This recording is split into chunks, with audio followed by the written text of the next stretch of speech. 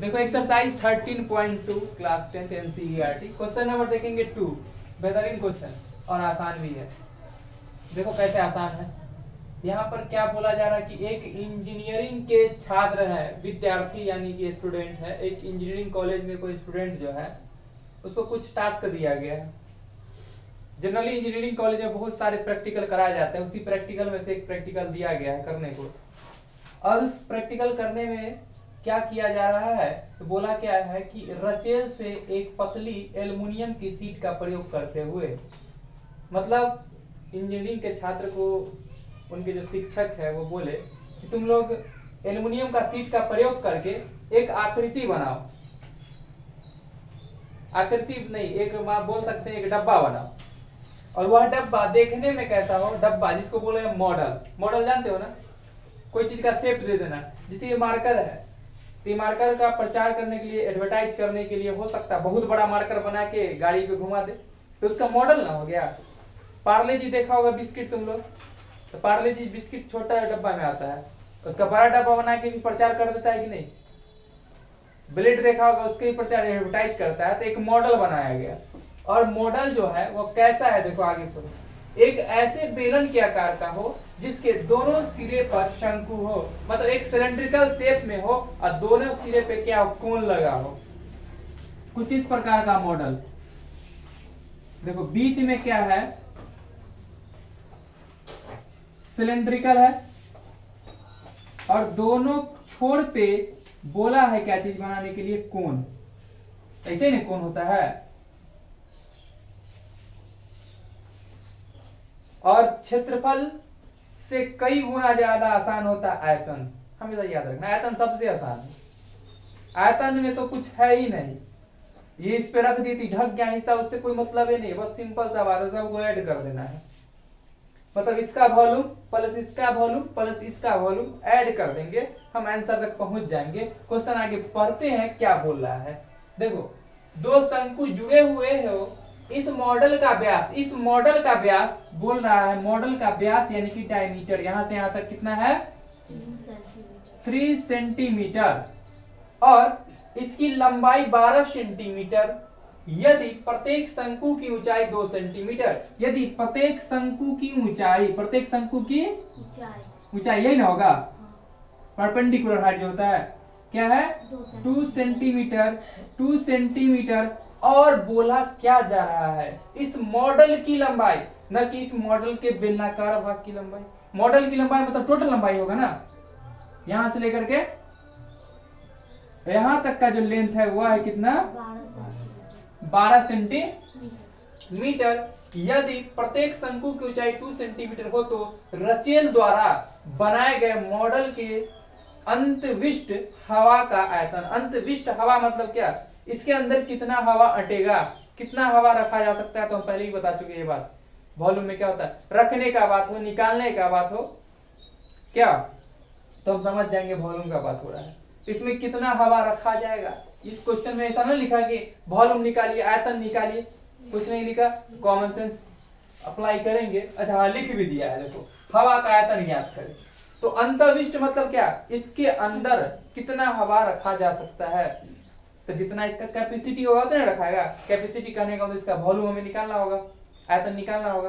तो वॉल्यूम क्या हो जाएगा इसका? तो देखो इसका आयतन क्या होता है? Formula one by three pi r square h और इसका भी फॉर्मूला क्या होगा? One by three pi r square h हो जाएगा? One by three pi r square h one by three pi r square h जबकि बेलन का होता फॉर्मूला क्या चीज़? पाई आर स्क्वायर एच अब समस्या ये फंस जाएगा अगर एक घर में तीन बच्चा है, या मान लो एक घर में दो बच्चा है, दोनों का नाम अगर श्याम रख देंगे तो बुलाएँगे, ए, श्याम, सुनो। तो दोनों श्याम दौड़ के आ सकता है। तो यहाँ पर वही कहने का मतलब मेरा है कि देखो, यहाँ पर रेडियस तो सबका एक जैसा है। रेडियस तो सबका एक जैसा है मतलब सबके बाबू एक ही है। नहीं मतलब सरनेम एक ही है सबका। लेकिन अगर उपनेम का बात करें उसका नाम का बात करें तो वो तो अलग है। देखो इसका हाइट अलग है कि नहीं? दिख रहा है अलग?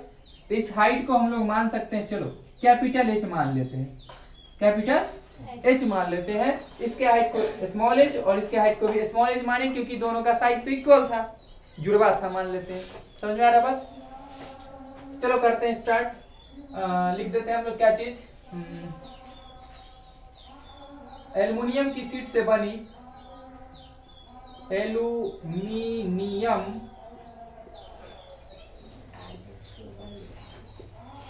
के सीट से बने क्या चीज़ है? मॉडल। मॉडल के बेलनाकार भाग का व्यास बराबर शंकवाकार भाग का व्यास समझ में आया? कि दोनों का डायमीटर व्यास, यानी कि दोनों का डायमीटर जो है क्या है? थ्री सेंटीमीटर ही है। तो रेडियस क्या हो जाएगा? रेडियस जो होता है डायमीटर का हाफ़ होता है। थ्री बाई टू सेंटीमीटर हो जाएगा। समझ में आ रहा बात? आगे देखो, इस मॉडल के बेलनाकार भाग का हाइट कितना होगा? तो टोटल तो 12 है। ध्यान देना कॉमन से रखना। टोटल 12 है, उसमें से दो माइनस हो गया यहाँ से और तो यहाँ से भी माइनस हो गया। तो बच गया बीच वाला। नहीं ना? दो माइनस हो गया तो यहाँ से, यह है। तो देखो सिंपल सा बात है, दो माइनस हो जाएगा इधर से इधर से दो माइनस, इधर से भी दो माइनस हो जाएगा तो कितना बचेगा बीच में? दो दो, चार माइनस यानी कि एट हो जाएगा। समझ में आ रहा बात? तो मॉडल के बेलनाकार भाग की लंबाई बोलो या ऊंचाई बोलो, बात तो सेम है। अगर ऐसे पलट देंगे तो ऊंचाई हो जाएगा। ठीक है? तो लिख देते हैं हम लोग क्या चीज़? बेलनाकार भाग की ऊंचाई। अभी फिगर को पलटे हुए हैं। तो ये दिख रहा है लंबाई। लेकिन अगर इसको ऐसे कर दे तो क्या हो जाएगा? ऊंचाई। अगर हम लंबाई भी लिखना चाहे तो कोई दिक्कत नहीं है। लिख देंगे लंबाई जिसको डिनोट कर रहे हैं हम लोग कैपिटल एच से। किससे? हाँ तुम्हारी मर्ज़ी जो जिससे डिनोट करना है कर सकते हो। ठीक है? तो ये कितना हो जाएगा?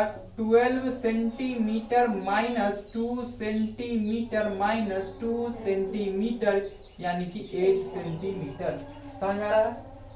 और हमें क्या पता है ये कोण ये कोण है ना? शंकु जिसको कहते हैं हिंदी में कोण का ऊंचाई पता है हमें? टू सेंटीमीटर ना? ना? दोनों छोर पर लगे। कोण? दोनों छोर पर लगे शंकु। दोनों छोर पर लगे? हाँ, शंकु की ऊंचाई शंकु की ऊंचाई जो है, यानी स्मॉल एच माने है वह बराबर कितना? दो सेंटीमीटर समझ आ गया?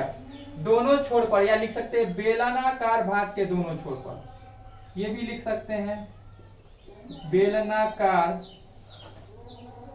भाग के दोनों छोर पर लगे शंकु की ऊंचाई। समझ में आ गया? सब डाटा हम लोग के पास अवेलेबल है ही। देखो ना जो फार्मूला लिखे, इस फार्मूला का सारा डाटा अवेलेबल है या नहीं? सबसे पहला मेरा काम क्या होता है? जो डाटा है वो लिख लेते हैं। फार्मूला दिमाग में लाते हैं या कहीं पर रफ में लिख लेंगे, उसमें देखेंगे क्या चीज़ नहीं है। जो चीज़ नहीं है, पहले वो चीज़ पूर्ति करेंगे। तो जब हम फार्मूला लिखे तो हम लोग को पता नहीं था कैपिटल एज क्या है। तो सबसे पहला काम मेरा क्या हुआ? कैपिटल एज निकाल लेना। और सब चीज़ तो वैल्यू पता है, आराम से पुट कर देंगे, आंसर आ जाएगा। ये प्लस ये प्लस, ये कर देंगे, आंसर तक पहुँच जाएँगे हम। ठीक है? निकालना क्या था? मॉडल के अंताविष्ट हवा का आयतन। इसलिए मॉडल में अंतविष्ट अंतविष्ट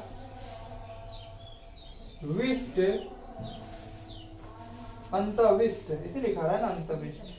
ठीक है ना? अंतविष्ट हवा का आयतन बराबर बेलन का आयतन प्लस दो शंकु का आयतन।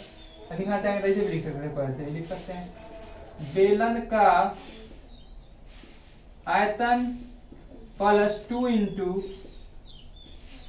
शंकु का आयतन। टू इंटू क्यों कर दिए दोनों का साइज़ सेम था तो बेलन का आयतन फॉर्मूला क्या जानते हैं हम लोग? Pi R square capital H माने थे प्लस शंकु का आयतन टू इंटू शंकु का आयतन one by three pi R square small H समझ में आ गया? यहाँ से देखो तो पाई इसके पास भी, पाई इसके पास भी है। तो पाई ले लिए कॉमन आर इसके पास भी आर स्क्वायर इसके पास भी है तो आर स्क्वायर भी ले लिए हम लोग। यहाँ से बच गया कैपिटल एच प्लस यहाँ से बच गया two by three two by three और क्या बच गया यहाँ से? स्मॉल एच समझ में आ रहा है बात? ठीक है। तो पाई का वैल्यू नहीं दिया हो तो बाईस बट्टा सात ही लिया जाता है। और रेडियस कितना मेरा था? Three by two three by two three by two multiply three by two bracket बंद हाइट मेरा कैपिटल वाला कितना आया था? एट तो रख दिए eight plus two by three into height क्या मेरा आया था? एट आया था? स्मॉल एज वाला। कितना आया था? टू आया था। टू सेंटीमीटर यहाँ से देखो सेंटीमीटर मल्टीप्लाई सेंटीमीटर यहाँ से एक सेंटीमीटर तो सेंटीमीटर पर बराबर क्यों आ गया। यहाँ से आएगा बाईस बट्टा सात गुने तीन बट्टा दो गुने तीन बट्टा दो गुने। अब देखो यहाँ से एलसीएम ले लेते हैं हम लोग। क्या दे देगा? तीन। इसके नीचे कुछ नहीं होता क्या? एक, आठ त्रिक चौबीस। प्लस दूनी और सेंटीमीटर आ रहा है क्या ये? हिस्सा? तो यहाँ से हम लिख सकते हैं बाईस बट्टा सात गुने तीन बट्टा दो गुने तीन बट्टा दो गुने। ये क्या आ गया? अट्ठाईस बट्टा तीन। सेंटीमीटर क्यूब देखो सात से सात चौक। अट्ठाईस दो से दो दूनी। चार दो से दो। और ये तीन से तीन? क्या हो गया? बाईस छियासठ सेंटीमीटर क्यूब यही होगा मेरा फाइनल आंसर यानी कि इस रचेल द्वारा बनाए गए जो मॉडल है इसमें छियासठ सेंटीमीटर क्यूब हवा रखा जा सकता है। तो चलो नोट कर लो इसको।